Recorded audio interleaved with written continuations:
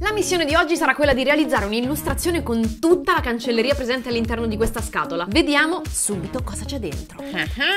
Ci sono evidenziatori e tantissime penne. Sarà un po' impegnativo riuscire a usarle tutte, eh? ma ci proviamo. E visto che tra poco si torna a scuola, andiamo di foglia a quadretti. Ho cominciato prima abbozzando una sagoma con i quattro colori base e poi passando anche al pack di evidenziatori color pastello. Carini! Qui però ci vuole anche un po' di contrasto e precisione e per questo arrivano dei fine liner il cui spessore della punta varia da 0.05 mm a 0.9 mm. Se mi conoscete saprete che adoro i fine liner, soprattutto quelli colorati. E per fortuna ci sono anche quelli, anche con colori pastello. Ah, ci ho messo un sacco per trovare il modo di usarli tutti quanti. L'ultimo tocco lo diamo con la penna stilografica punta piatta che permette un bel po' di modulazione della linea. Forse la mia penna preferita di tutta la scatola. Ok, ho finito. Devo dire che è stata un po' un'impresa usare tutte le penne, però mi sono divertita. Sfogo alla vostra creatività.